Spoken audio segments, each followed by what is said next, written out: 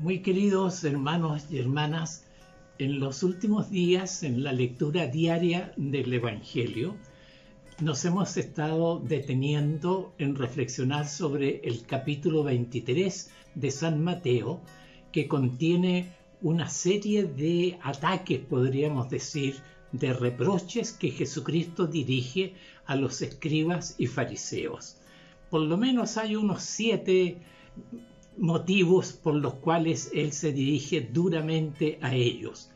En lo que hoy nos corresponde eh, reflexionar a nosotros porque se nos ha entregado la palabra, es, es que miremos siempre la coherencia entre lo que somos interiormente, lo que pensamos, lo que deseamos, lo que buscamos y lo que hacemos exteriormente.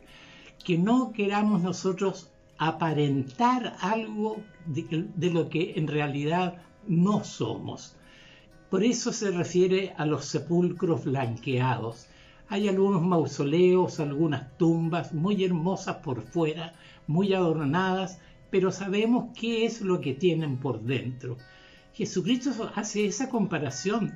Dice a veces los, los que encargados de enseñar y de conducir tienen por fuera muy buena apariencia, muy buenas ideas, orientaciones, pero ellos mismos por dentro no son los primeros en eh, cumplirlas, en vivirlas conscientemente. Entonces hay un llamado a la coherencia, a la transparencia, a que no pretendamos nosotros aparecer ante los demás como cumplidores, como buenos, y sin embargo por dentro no lo somos.